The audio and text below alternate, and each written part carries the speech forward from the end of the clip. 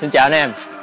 Hôm nay mình sẽ ra sân hướng dẫn cho anh em một động tác rất hay mà một số rất nhiều cầu thủ nổi tiếng nên trên thế giới rất là thực hiện rất là nhiều. Điển hình là Di Maria à, Ronaldo cũng thực hiện động tác này. À, động tác nó tên là Rabona. Và ở giữa video clip này sẽ có một cái bonus nhỏ dành cho anh em. Anh em nhớ mở giữa clip xem coi cái bonus nó là gì nhé bây giờ mình sẽ thay giày cái đã. Vậy Rabona là gì? Rabona là tên một động tác xuất xứ từ Argentina lấy cảm hứng từ vũ điệu tango. Và người thực hiện đầu tiên là Ricardo Infante thực hiện năm 1948 thì lúc này là các nhà báo họ ghi nhận được cái cách đá này của ông này. Và sau đó họ đặt tên cho động tác đó tên là Rabona à, ông ấy sử dụng lúc mà ông ấy đi ở cái biên nghịch chân. Đó, nhưng mà vẫn cố gắng sử dụng chân thuận để sút quả bóng đó.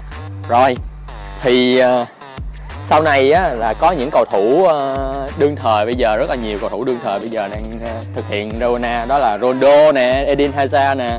Và nhiều nhất đó là những cầu thủ của Argentina nguồn gốc của nó mà đó là Di Maria nè, Eric Lavella đó những cầu thủ Argentina sử dụng Rabona rất là nhiều. Còn những cầu thủ như Ronaldo là tại vì anh ấy quá nổi tiếng nên ra khi mà Ronaldo thực hiện Rabona thì chúng ta được biết đến Rabona nhiều hơn đó là vậy. À, nguồn gốc xuất xứ của động tác Rabona giờ thì mình sẽ ra thực hành và hướng dẫn cho anh em động tác Rabona này nhé.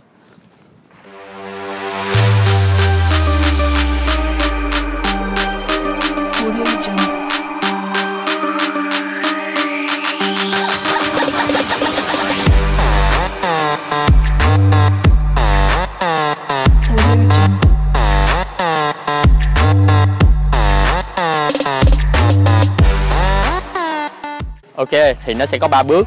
Bước thứ nhất là tư thế và đặt chân trụ Thì tư thế mình sẽ lấy đà một góc 45 độ ở cái hướng chân thuận. Đó, Bình thường mình sút bằng chân thuận Mình sẽ lấy đà ở đây.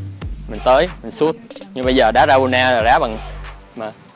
Đó sẽ qua hướng bên này đó hướng của góc chân thuận. Bắt đà tới.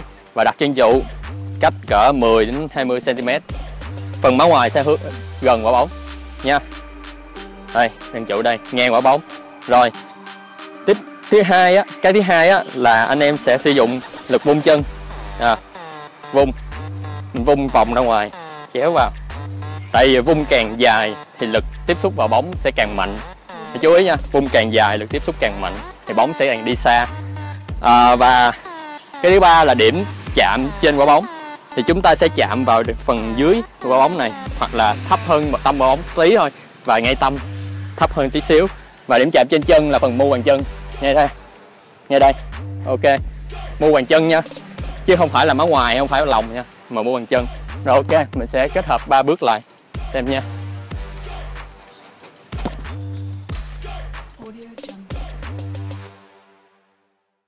Và lúc đầu mình đã có nói với anh em một cái bonus ở giữa video đúng không nào? Đó là một cách kiếm tiền. Dạ yeah anh em có thể thấy Ronaldo Messi kiếm rất nhiều tiền mà không phải là đi đá bóng mà đi quảng cáo đúng không nào? Hôm nay mình sẽ kiếm tiền bằng cách là không phải đi đá bóng mà sử dụng Binomo. À Binomo là gì? Một phần mềm mà anh em có thể à, chọn biểu đồ tăng giảm có thể kiếm được tiền từ cái cách chọn đúng cái biểu đồ là được. À, Binomo có cho 1.000 đô để anh em có thể xài thử nhé Ok bây giờ mình sẽ kiếm tiền bằng Binomo thử xem nào. Yeah Mình sẽ đặt cược 100 đô nha Nếu biểu đồ tăng Mình sẽ chọn biểu đồ tăng. Nếu mà nếu biểu đồ nó tăng thì mình sẽ kiếm được tiền từ biểu đồ. Kiếm được tiền từ Binomo Yeah. Oh Biểu đồ đang tiếp tục tăng Tăng rất nhanh Yeah mình kiếm được rất nhiều tiền từ cách biểu đồ tăng này. Oh, Biểu đồ có giảm đi một tí nhưng không sao. Nếu như ở mức này thì mình sẽ kiếm được 183 đô nhé. Yeah Biểu đồ vẫn đang tiếp tục cân bằng ngay tại địa, thời điểm đó. Có giảm đôi chút nhưng mà chắc không sao đâu nè ờ, tiếp tục tiếp tục và mình hiện tại là mình có 193 đô. Giờ làm gì với 193 đô đó bây giờ? Đi mua giày đi mua giày đi mua giày tập Leona Đà, dạ, anh em có muốn sử dụng Binomo thì xem dưới phần description nha. Rồi bây giờ mình đi mua giày tập đá bóng thôi. Để tập luyện Rabona thì em nên bắt đầu từ việc tìm một vách tường. Đá Rabona và vách tường. Dội ra. Để mình quen cảm giác đá Rabona. Và tiếp theo là hãy để kiếm một quả bóng mềm tập ngay từ đầu.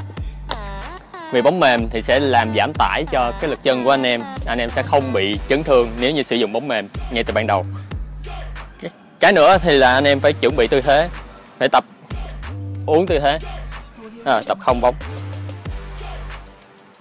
Chân phải vùng sâu qua bên này giữ tư thế này. Tập vung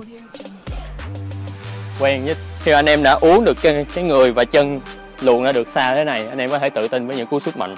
Rabona mạnh. Những cú sút Rabona mạnh.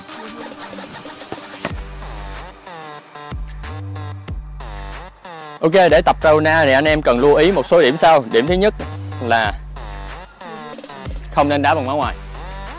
Nha. Khi em đá bằng má ngoài có thể ở đây nó sẽ dướng vào chân trụ dẫn đến bị à, té hoặc đá hỏng này cái thứ hai á, là đừng tiếp xúc bằng mũi. Tiếp xúc bằng mũi. Đây đây là tiếp xúc bằng mũi. Bóng sẽ đi không mạnh. Và có thể gây chấn thương phần mũi chân của của anh em. Và cái thứ ba mình muốn nói là à, khi mà đá Rebana thì nên cong chân trụ này lại để cho cái chân thuận nó luồn ở tới đây. Bóng sẽ đi càng xa.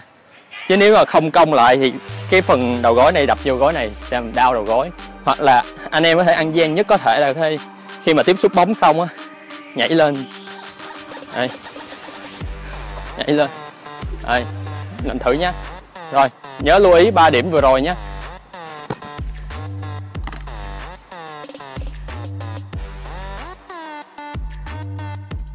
để ứng dụng được động tác Rona trong trận đấu thì theo thi nghĩ là không phải là làm bừa bãi đâu.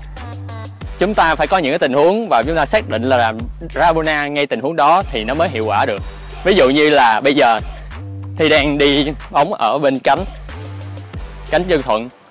Dạ, và thì lách bóng vào trong thì lúc này là thay vì mình sút chân trái, là chân mình yếu mà không tự tin này mình đá Rabona.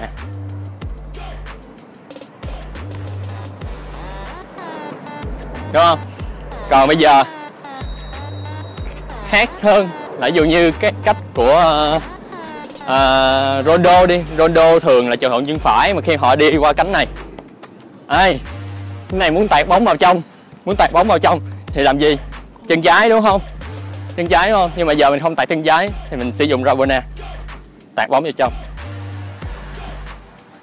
Hoặc trong tình huống này mình có thể sử dụng Rabona làm công tác giả chẳng hạn. Quanh về lái vào trong. Đá chân phải và tương tự thôi. Nếu như ở cánh bên này mình có thể sử dụng. Ra mình đi xuống cánh. Thuận chân tạt vô nhưng mà sử dụng tập giả gạt về. Đá Rabona vào trong.